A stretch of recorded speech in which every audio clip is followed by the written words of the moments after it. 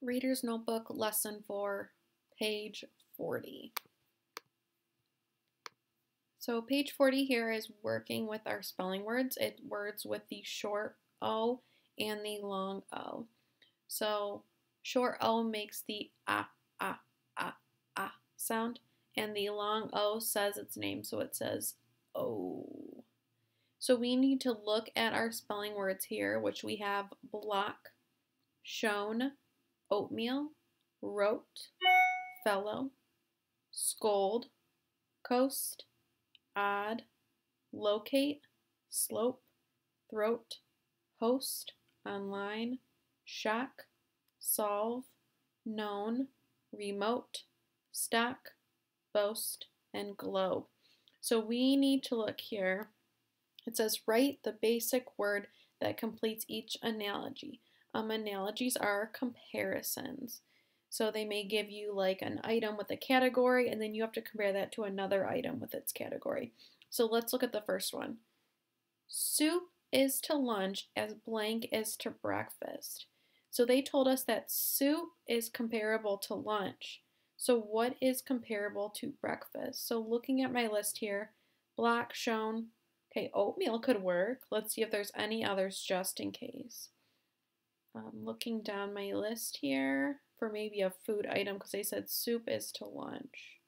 Okay, nope, there aren't any food items. So, yep, people eat oatmeal for breakfast. So, soup is to lunch as oatmeal is to breakfast. I'm going to move this up just a little bit so I can read it.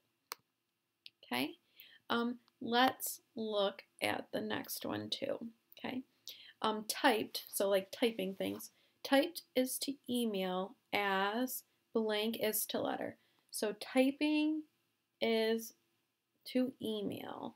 So I type out an email as blank is to letter. So if I type an email, then how do I get a letter? Usually people, you got it. Usually people write a letter. So let's see if there is write. Oh, there's wrote. Let's see if there's write. Nope, just wrote. So typed is the email as wrote is to letter. Wow, my boxes are off. Okay. So looking at analogies, it's comparing one thing to the next, and they're using the same, um, same concept to make a second analogy to it. Alrighty, challenge.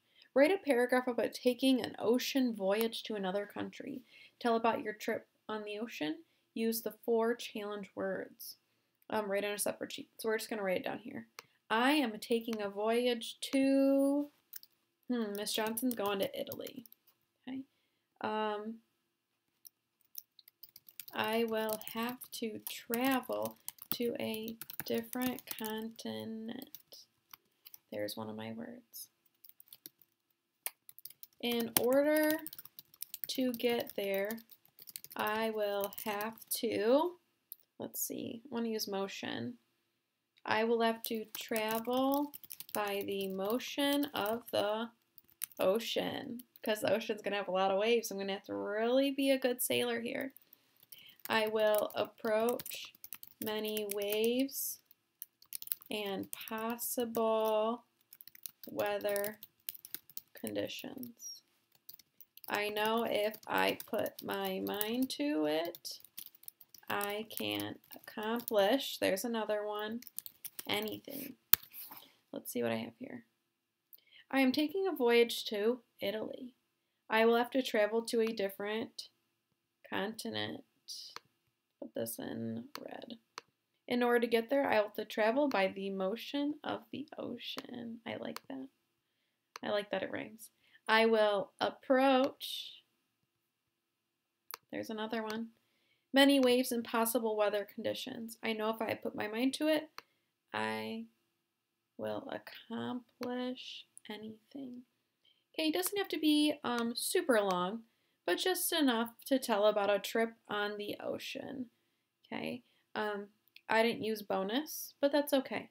Um, you can go wherever you want. Just let me know how is your voyage going?